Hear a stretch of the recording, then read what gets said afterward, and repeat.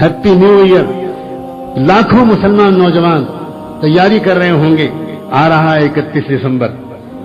हम भी खूब टहलेंगे, हम भी रात भर घूमेंगे, हम भी खूब गाएँगे, हम भी खूब खर्च करेंगे, इसलिए एक नया साल मनाते हैं। सुबहान अल्लाह वारे मुसलमानों, वाह वाह हज़ारों, लाखों लड़कियाँ मुसलमानों की उस 31 दिसंबर की रात में शानदार कपड़े पहनकर जीन्स पहनकर सड़कों पर निकलेंगी रात रात भर तमाशा करेंगी। इसलिए कि उनको उनको ये दिखाना है कि हम असल में ईसा सलाम के बड़े कदर करने वाले हैं। ईसाई कैलेंडर का एक नया साल शुरू हो रहा है ना? ईसा सलाम से निस्बत रखता है ये नया साल। तो जब वो नया साल आ रहा है, ईसा सलाम की निस्बत रखने वाला तो हमें तो बहुत कुछ करना चाहिए। फिर ये उम्मत का हाल ये भी खराब हुआ कि जब इसने देखा कि दुनिया के ईसाई, ईसा सलाम को जश्न विरादत इस तरह मनाते हैं तो इन मुसलमानों को ये जोश आया। उन्होंने कहा कि अच्छा तुम ईसा का जश्न विरादत इस तरह मनाते हो तो हम भी मोहम्मद रसूलुल्लाह का जश्न मिलाद मनाकर दिखाएँ। हम भी मनाएँ। हम भी खुद फजूल खर्चियाँ करेंगे, हम भी जुलूस निकालेंगे, हम भी आलम निकालेंगे, हम भी ढोल तमाशे निकालेंगे, हम भी नमाजें छोड़ेंगे, हम भी खूब तमाशे करेंगे, इसलिए कि हजूर पाक सल्लल्लाहु अलैहि वसल्लम के जश्न मिलाद मना रहे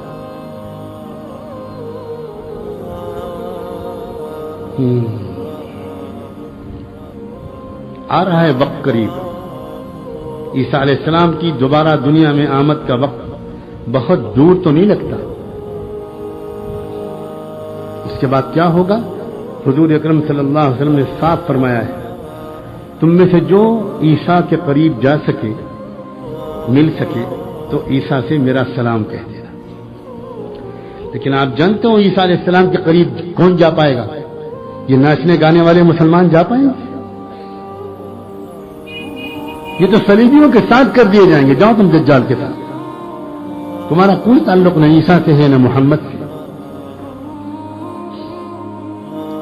लोग इन चीज़ों को मामूली समझते हैं। नए साल की मुबारकबाद देना, मामूली समझते हैं। एक रोजा दस मुहर्रम के दिन अल्लाह के रसूल सल्लल्लाहु अलैहि वसल्लम ने जब पूछा कि आप, तुम यहूदी लोग दस मुहर्रम का रोजा क्यों रखते हो? तो उन्होंने कहा कि असल में हमारे नबी मूसा को जो फतेह मिली थी फिरौन पर तो वो दस मुहर्रम के दिन ही में मिली थी। तो हम लोग उसकी याद मनाते हैं। तो हुजूर ने फ़ौरन फरमाया कि मूसा सलाम को कोई नेमत मिली हो तो उस पर शुक्र मनाने का तो हमारा हक तुमसे ज़्यादा है। इसलिए हम भी अगले साल रोजा रखेंगे। हाँ एक काम करेंगे। हम एक रोजा उसके साथ मिला दिया करेंगे, ताकि तुम्हारे अमल से मुशाबहत न हो जाए।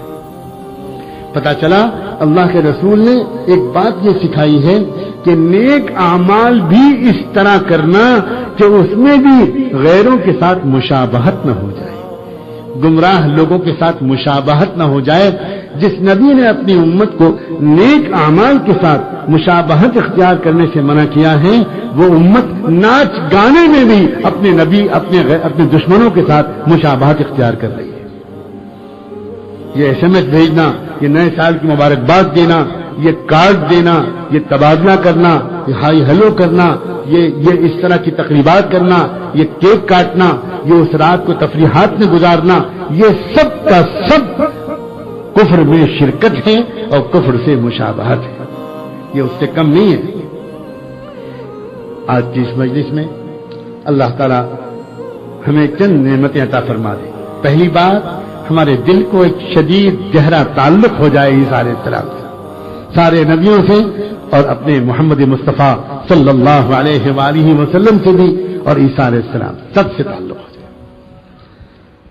हज़रत मरियम से हमारा ताल्लुक हो, हज़रत मरियम की मोहब्बत और अकीदत हमारे दिल में हो और हम अपनी बच्चियों के जब, को जब तरबियत दें, अपनी बच्चियों को पालें, पढ़ाएँ तो कोशिश करें कि हज़रत मरियम की अदाएँ अपनी बच्चियों के अंदर उतारें किसी तरह। समझा बुझाकर भी उतारें, दुआएँ मांग कर भी उतारें, ऐसे ही जगह पर उनको तालीम हासिल करने के लिए भेजें, जहाँ उनको बेहयाई और बेपर्दगी न सिखाई जाए, बल्कि मरियम वाली पाक दामनी सिखाई जाए। हर वो नौजवान जिसकी अभी शादी न हुई हो, वो अल्लाह पाक से ये दुआ मांगे, अल्लाह मुझको भी पाक दामन रखिए और अल्लाह मुझे कोई पाक दामन शरीक ज़िंदगी दे दे। अल्लाह मुझे कोई पाक दामन बीवी अता कर दे। जो मियाँ बीवी पाक दामन होते हैं, अब तयबात तयबीन और पाक दामनी के साथ ज़िंदगी गुजारते हैं, अल्लाह उनकी औलाद को भी पाक दामन रखते हैं। खानदान पाक दामन बनता है, उसकी वजह से बरकतें उतरती हैं उस घराने की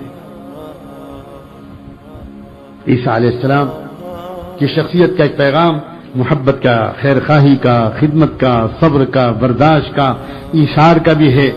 उन्होंने तो अपने लिए कुछ किया ही नहीं। ईसा सलाम ने तो अपना एक घर भी नहीं बनाया। ईसा सलाम ने तो अपनी शादी भी नहीं की। अजीब गरीब बात है। चुनाचे हजूर ने यह बयान फरमाया कि जब दोबारा वो दुनिया में उतरेंगे, तब उनकी शादी मेरी उम्मत में से किसी के साथ होगी। अल्लाह अकबर। खुद हजूर ने फरमाया, और फिर उनकी औलाद भी होगी। और फिर एक आखिरी बात और सुनो। हजूर पाक वसल्लम ने खुद फरमाया है कि ईसा सलाम जब दुनिया में दोबारा आएँगे तो उसके बाद 40 साल रहेंगे। और 40 साल के बाद उनका इंतकाल होगा और वो मेरी कब्र के पास मदीन मुनवरा में दफन होंगे।